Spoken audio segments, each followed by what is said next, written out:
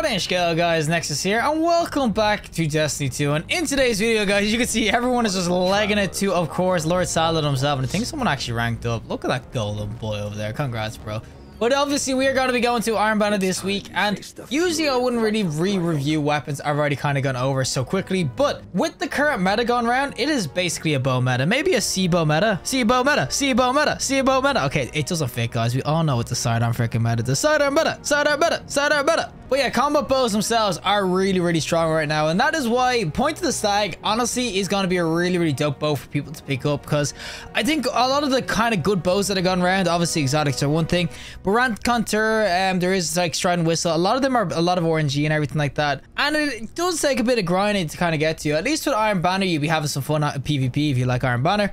And you can start to focus them. So if you do, of course, have engrams, you can see this will be the cost. Now, how you unlock this first, by the way, if you don't have it, it requires rank 4, which is honestly super easy, guys. Rank 4 is only a couple of games, even if you lose them all. And then you can, of course, start focusing for them. And you will see on the screen all the roles you can kind of get. Now, me personally, I think when it comes to a god roll for this sort of weapon, it's going to be something like Archer's Tempo.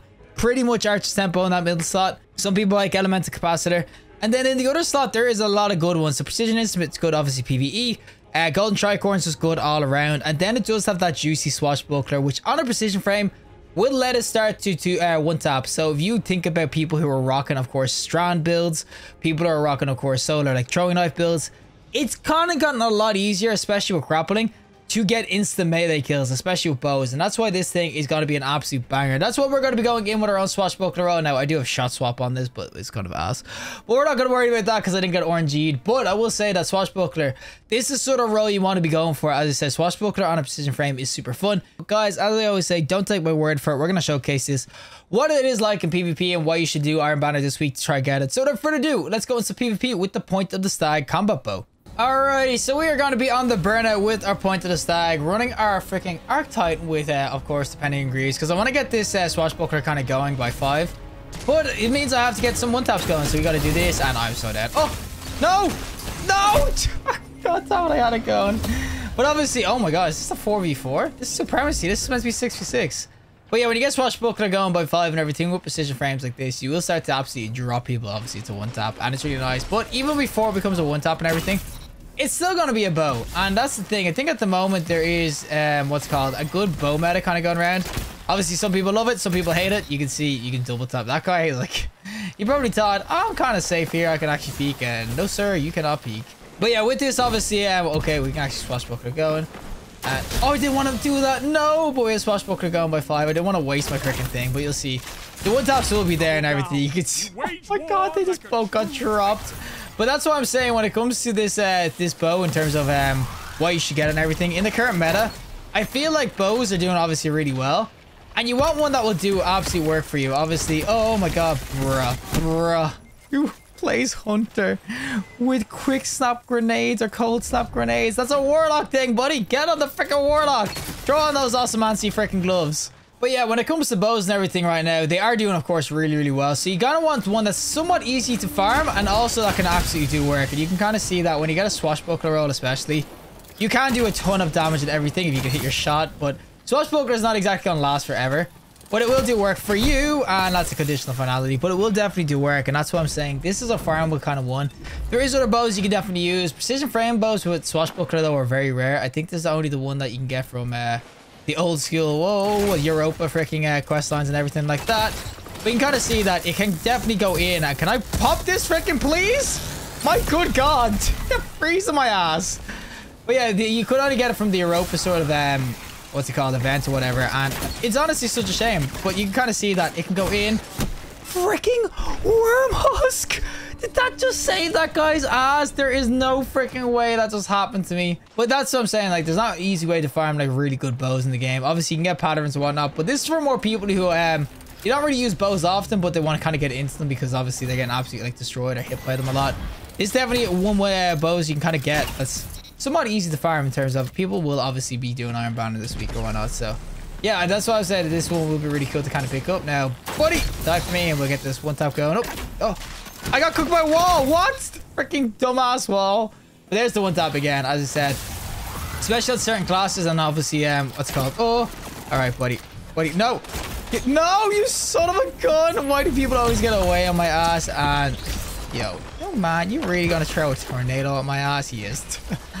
But yeah, with Dark Titan obviously being um, a decent uh, subclass and everything, there's a double tap. But even, of course, um, Arc subclass being great in Titan and everything, and this being an Arc weapon too, there is some synergy going in that sort of regard as well. Just, all right, this is like a really weird-ass game, though, considering that uh, yeah, it's being...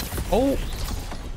Wait, what? The hell just killed him? All right, I need to what I need to do. Oh, put the wall up, put the wall up. We freaking build a wall, boys. We build a freaking wall. We'll get this guy. You know what? Screw this guy. Oh, young man, get your ass back here. We'll get him down. There's the freaking one tap. oh, Peregrines are so much fun.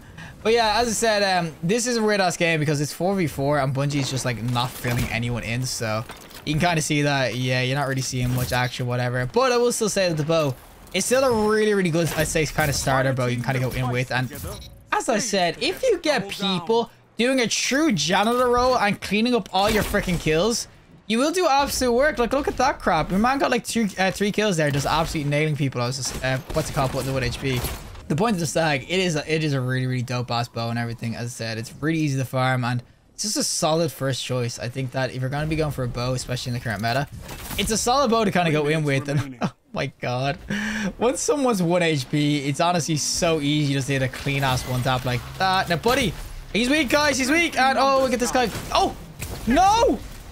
Oh my, okay, I was gonna super there. Sometimes my freaking arc shoulder charge just whiffs like hell. But yeah, definitely current meta. This is like the one to kind of like try to get your hands on because it will go in. Now, I just want a one tap, boys. What a one tap. Give me the one tap. Oh, there we go. Uh, let me get a freaking headshot. This guy. Ah, buddy, buddy. I missed the shot. No, you're gonna take my kill. Wait, where did you put him, buddy? What the? Sent him over to freaking cross the stratosphere. It's just a really fun boat to go in with. Swashbuckler on precision frames. It's kind of like the uh, the hidden Jitsu, and oh my god, he's got absolutely blasted. Oh, I'm getting jiggled around the corner. My god, my man is like freaking jelly with the jiggles. But you can see it's just so solid to gotta go in with. Now, this guy is killing everyone. Oh. I used to be a Titan man, boys. I used to be a freaking Titan man, if you couldn't tell. Alrighty, so we're gonna go in on the Radiant Cliffs itself. I'm doing another game because that last one was really weird. Four people were in it for like the whole thing. But also, we want to go in with the bow meta more, guys. And I will definitely say bows are legit. They're rampant right now. Like, you'll see, there is people, tons of people using freaking uh, bows and everything. I got freaking destroyed. But there's tons of people using bows right now. And as I said, Point of the Stag is like one of these really perfect kind of like opening bows to kind of get your hands on. Because as I said, it's super easy to farm when it's open iron banner. You just have to get a couple of engrams. And also, yo, young man, could you just not? but also because um, it is going to be precision framed, which honestly have so much uh, like accuracy and everything like that. They're not really hard to actually hit with and stuff. Like you see, you can get some easy freaking hits in and everything. No, young man, get your ass back here. No! Someone out of you me. Out of you me, buddy. Out of you me. And yo, if we do not get this guy, oh my good God, guys. How do I not get an assist there? But yeah, you do need someone to kind of out of you and everything like that. Now, yo, young man. Oh, oh, oh. Oh, oh my God, he actually freaking threw that well. What the hell is that for a shot?